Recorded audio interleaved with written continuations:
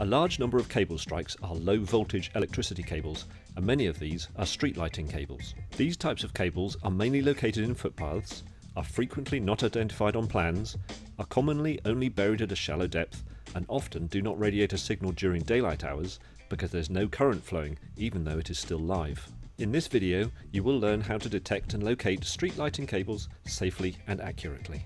As standard, your Genny tool tray contains direct connection leads. Direct connection leads are used as a way of applying a Genny signal to help you identify and locate a specific target line or utility, such as a streetlight cable.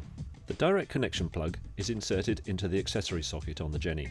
For your own safety, do not turn on the Genny until you're ready to apply the signal. The direct connection lead's red clip can be attached to a metal conductor such as a streetlight.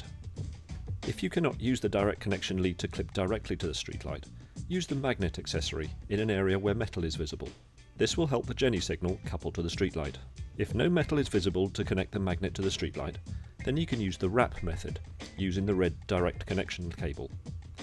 Use as much of the cable as possible to wrap around the structure.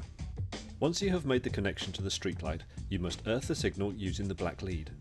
This is most commonly done using the earth stake provided.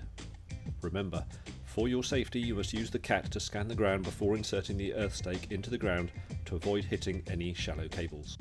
Once the earth stake has been pushed into the ground, attach the direct connection lead's black clip. Where possible, try and earth the signal away from the streetlight and use moist or wet ground for the earth stake as this will improve the Genny signal on the cable. An earth extension lead accessory can be used to earth the stake further away from the Genny if there is no suitable ground nearby. If no suitable ground is available for your earth stake, you can earth the signal by clipping the black lead onto a nearby drain cover.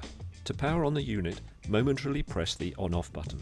The unit will power on in standard output level and maximum volume. If you wish to reduce the volume level, use a sustained press on the on-off button when powering on the unit. The boost button can be used to apply a stronger signal to the streetlight, and in boost mode, the LED will be permanently lit to indicate that the Genny is in maximum output mode. If the LED is flashing, this indicates that the Genny's batteries are low, and this may affect the signal output. You can now trace the Genny signal on the streetlight cable.